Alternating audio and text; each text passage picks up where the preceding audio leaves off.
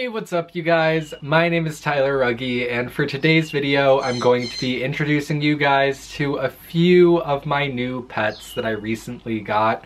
The first one being a snake that I got at the Pittsburgh Reptile Expo this past weekend and the other four of them being tarantulas that I got in Ohio at a reptile expo in Cincinnati. So without further ado, let's meet my new animals. Alright guys, so this is my new snake. This is a sunbeam snake, and I don't know if it's a male or a female, but I did decide on a name. I chose the name Opal, and sunbeam snakes get their name because of the iridescent effect on their scales.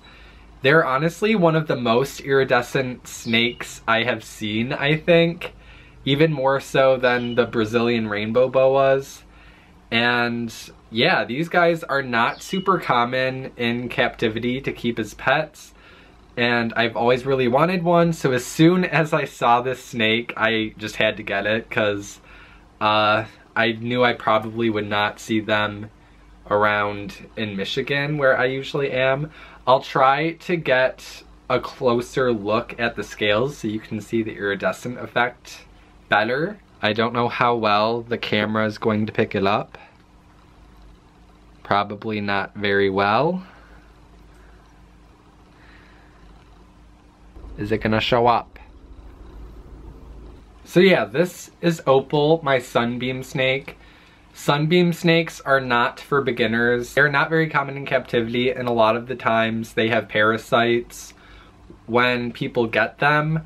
So you do have to either take them to the vet and get them checked for parasites or you have to just treat them for parasites, which I'm going to do.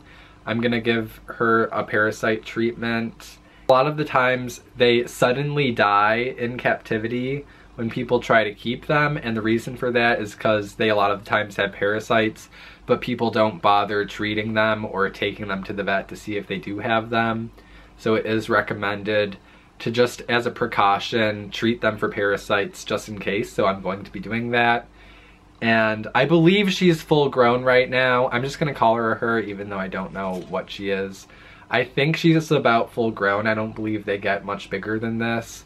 I'm basically just keeping her in a tub so that she feels secure and it has a lot of substrate because similar to Kenyan sand boas, they enjoy being completely buried. They burrow into the substrate and they basically stay there and they just come out to eat but the only thing is that they need very high humidity. Sunbeam snakes need like 90 to 100% humidity at all times, so you have to make sure the substrate stays really moist and that the lid on the enclosure you're using holds in humidity well. In the wild, they eat rodents, they eat other snakes, frogs, they eat all kinds of things, but in captivity, if you keep them, you can just feed them the appropriate sized mice. They come from Southeast Asia, and they also aren't super aggressive. If they feel threatened, instead of trying to bite you, they'll actually musk on you. So, of course, any snake can bite you, but it's just known these are a type of snake where they would rather try to run away from you or they'll try to musk. And basically what it means to musk is that is when a snake basically excretes a liquid on you that smells really bad. It's never happened to me, so I don't know what it smells like. Luckily, Opal is a very nice snake and has never done that to me yet, so hopefully it stays that way. These snakes also are not venomous. They kill their prey by constricting them. Although there were plenty of venomous snakes at this Pittsburgh Expo, and I was tempted to get one, but I knew it wasn't a good idea because I really don't feel confident enough to keep a venomous snake yet because I really probably don't have quite as much experience as I should. Um, I have only been keeping snakes for a few years now and I don't think I'm quite ready to keep a cobra or a viper, but maybe I will in the future. And I'm gonna put her away now so she doesn't get too stressed out, so everyone say goodbye to Opal. The reason why I called her Opal, by the way, I don't know if I explained this, was because if you look at the scales, there is an iridescent effect and she is a gray color but some sunbeams are more of black color but this one was more of a grayish blue and I thought it was really pretty and it, it looks like opal in certain lighting so I thought I would name her Opal so say goodbye to Opal our new snake friend So next we have my tarantulas. So if you don't like tarantulas, you can skip this part. But basically, I got four tarantulas. Three of them are slings, which I have right here. They're in these tiny containers because they're very small. A couple of them are starting to reach a size where I'm going to get them a larger container, but basically for slings, this size container is good. So these tarantulas are arboreal, which you can tell because these are vertical containers. They like to climb upwards. This one is an Amazon Sapphire Pink Toe. He's up at the very top, right underneath the lid. I don't know if you can see it, but he's really small and he's in his web. Next one you can see very easily. This is a Gooty Sapphire. He's a little bit bigger, so pretty soon I'm going to put him in a bigger container. And the third sling I got is a Venezuelan sun tiger, which is in the bottom of this container. I don't know how well you can see him. He's right there in the bottom, right here.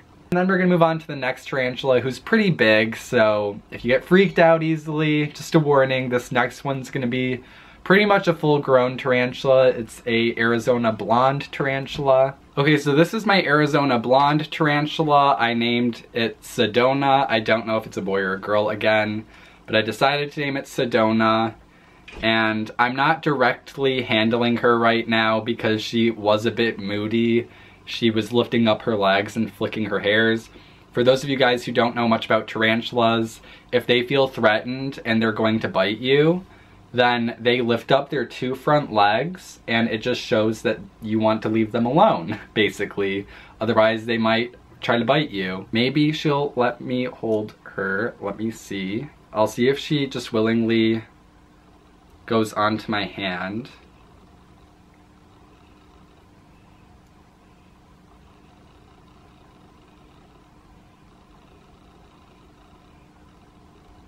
So she's right here on my hands, as you can see. She's very active. Basically, if they feel threatened, they lift up their front legs, or they can kick the back hairs that are on their butt. I don't know the like proper terms for the parts of the tarantula, but they basically have hairs on their butt that they kick out at you and they stick into your skin and they itch really badly. People say it feels like fiberglass going into your hands. So it's quite unpleasant. But this particular tarantula, if it did choose to bite me, it wouldn't be super venomous that would actually do anything. If anything, it would just be very uncomfortable. So yeah, I'm not super afraid of this tarantula, but I'd rather avoid getting bitten if possible or avoid getting hairs flicked at me. So I'm going to put her away now just because I think she's a bit stressed out. So say goodbye to Sedona, the cute little Arizona blonde tarantula. She's really sweet, but I'm just very cautious that I don't stress her out too much. I also don't have a whole lot of experience with actually holding tarantulas, so I'm still a bit nervous to hold a tarantula for an extended period of time. I'm still kind of getting used to it and everything, so bear with me but I love tarantulas and I think that really more friendly species shouldn't be feared by people. In general, tarantulas are just, people find them very scary and spooky and I don't know why. I mean, I understand kind of, but they are really fun and interesting creatures and they're really pretty.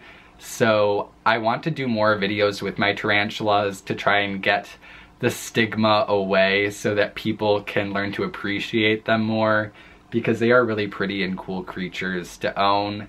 And as you can tell, because I've gotten seven of them in the past like couple months, like obsessed with them right now. So yeah. Yeah, those are my four new tarantulas. So I hope you guys love them as much as I do. I do want to throw in there that some of the tarantulas that I got are not for beginners. My sunbeam snake is not for beginners. So as with any animal, make sure you do extended research before purchasing them.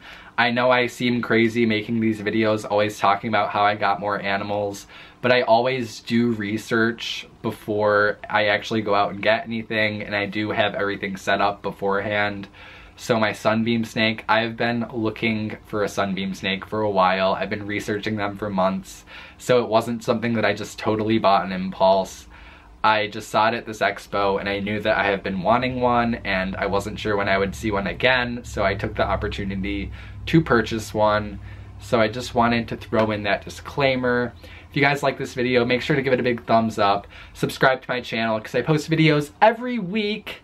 Check out my social media. The links to those will be in the description below and I'll see you guys in my next video.